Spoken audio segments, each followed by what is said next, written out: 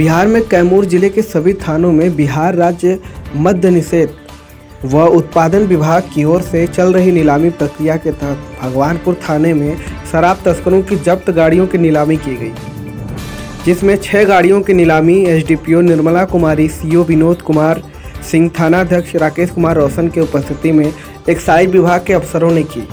सभी गाड़ियों से बाईस लाख चालीस हज़ार नौ सौ रुपये की राजस्व की प्राप्ति की गई। जिसमें गाड़ियों की बोली लगाने के लिए चौवन फार्म डाले गए थे। देखिए हमारे संवाददाता अजय सिंह की रिपोर्ट।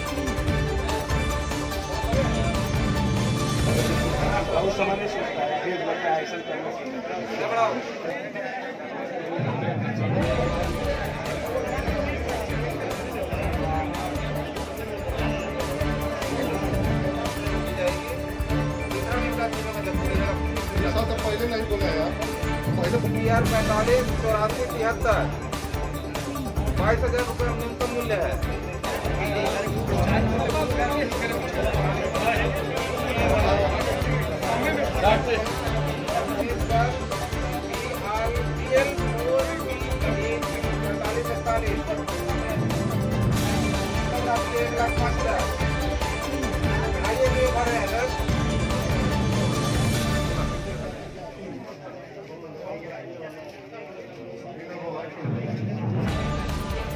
क्रूजर है यूपी चौसठ की उन्नीस सौ चौहत्तर यूपी सिक्सटी उन्नीस सौ चौहत्तर सौ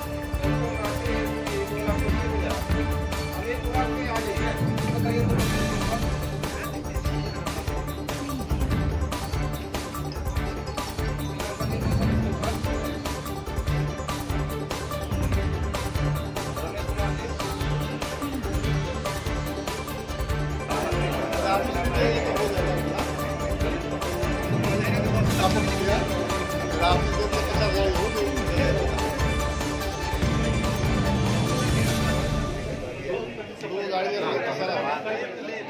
सर ये जो नीलामी प्रक्रिया के तहत कितनी गाड़ियों का नीलामी किया गया?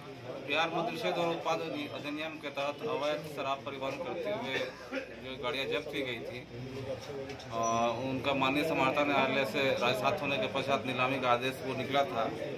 उसके आलोक में आज भगवानपुर थाना में छह वाहनों की नीलामी आयोजित की गई जिसमें दो कार एक पिकअप एक क्रूजर और दो मोटरसाइकिल थे। सभी गाड़ियाँ नीलाम हो गई हैं। सर ये गाड़ी जो गाड़ी नीलाम की गई है उसमें पाँच गाड़ियों में कितना फॉर्म पड़ा था? कितना? कितना फॉर्म पड़ा था?